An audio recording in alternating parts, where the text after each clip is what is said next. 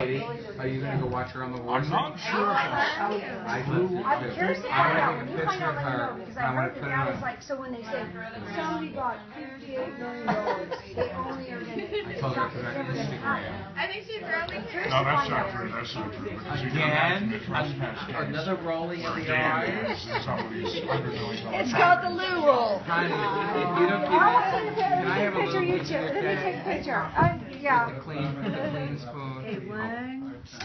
Okay,